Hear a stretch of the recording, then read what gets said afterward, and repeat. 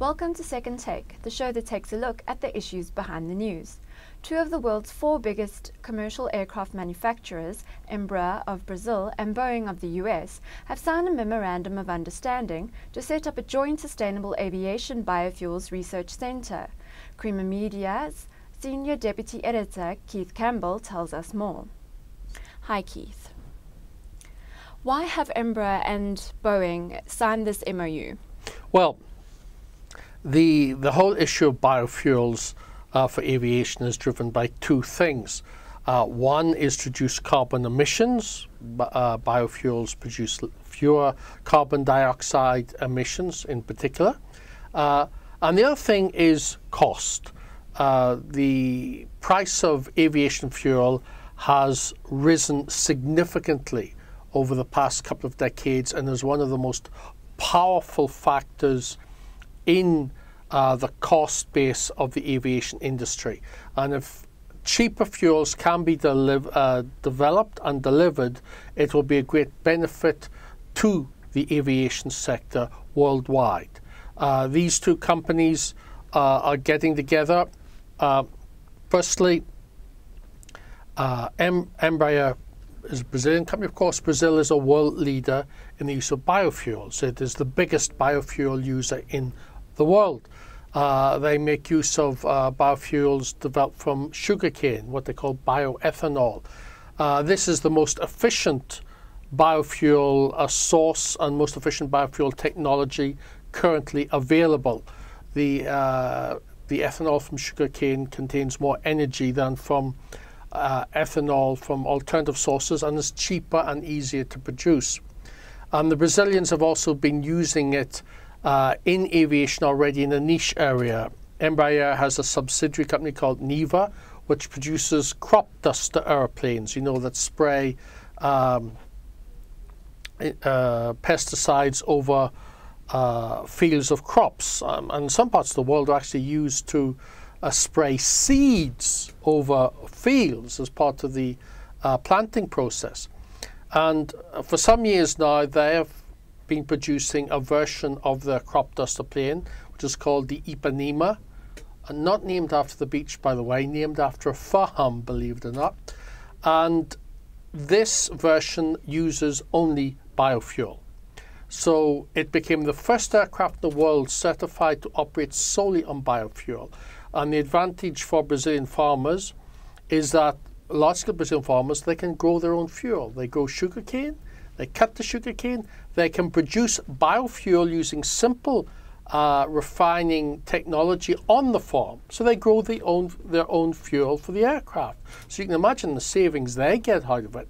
So it's proven quite popular in the Brazilian agricultural sector. Now, this, however, is something more ambitious. This is looking at biofuels for jet aircraft. And is there such a cooperative program in South Africa? Actually, yes, there is. Uh, Boeing is uh, has developed cooperative programs with companies in a number of countries around the world, and one of them is South Africa. They signed a memorandum of understanding with South African Airways uh, in October last year uh, looking at the development of, of what they call a sustainable biofuel supply chain uh, in Africa over the coming years.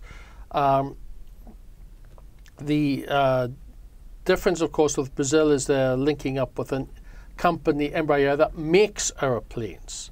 Uh, from, by the way, from Embraer's perspective, uh, Boeing is, of course, one of the biggest uh, aerospace companies in the world, one of the three biggest aerospace companies in the world.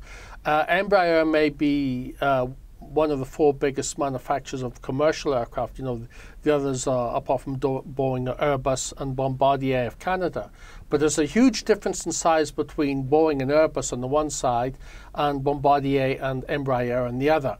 So Embraer gets the benefit of support from a uh, major uh, as I say, one of the biggest aerospace groups in the world, and a company with which they've been developing cooperation in other areas of the aviation industry as well. And do you have any ideas to when aviation biofuel will be commercialized?